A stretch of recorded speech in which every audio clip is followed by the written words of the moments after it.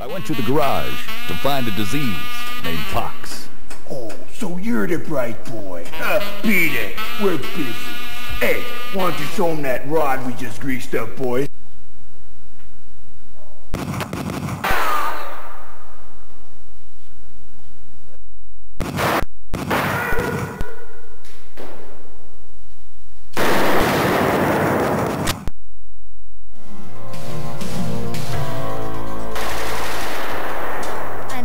very lucky until I met Johnny.